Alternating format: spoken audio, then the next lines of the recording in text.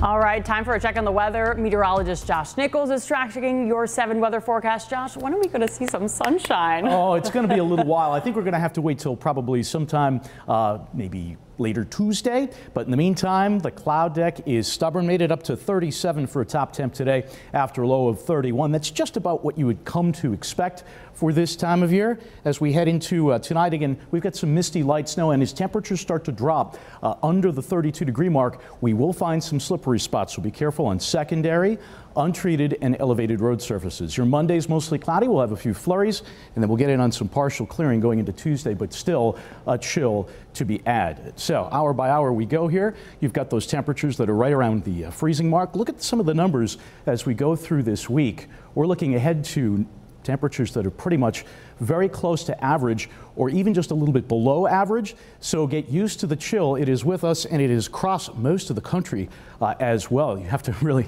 head down to Texas or Florida for any true uh, relief from the cold. Satellite and radar, as we look at our European computer model, shows the next storm system that'll be making its approach promises to get here later Wednesday night and Thursday with a combination of rain and wet snow. Right now, misty, cloudy here in Buffalo. We're at uh, 31 degrees. The breeze coming in out of the west at 7 miles per hour. We, go, we have those uh, pockets of fog to deal with as well right now. The visibility in Amherst at about 5 miles. Satellite radar here put together shows some of that misty light snow still coming down. So that is going to be the case as we go through uh, this uh, evening and overnight. And again, the clouds will be on the stubborn side as well. That breeze comes in out of the northeast. And those temperatures, again, dropping just below the freezing mark means uh, those secondary untreated and elevated road surfaces, again, will be slippery. Tomorrow, we've got sunshine to look forward to. Uh, excuse me, rather Tuesday, I should say, we'll have some that uh, sunshine to look forward to.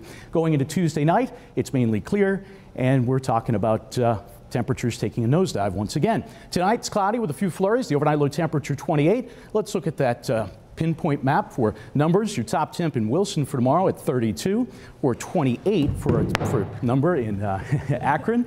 Things happen in the studio sometimes. Uh, 28, your high temperature in Clarence. 32 should do it in West Seneca. And as we go into tomorrow, we're looking at numbers here in the southern tier into the upper 20s. Have a check of that super seven day forecast. Again, we've got the clouds in place for tomorrow. Watch out for those slippery spots. Tuesday, we've got some sunshine, 35. Wednesday, clouds up again.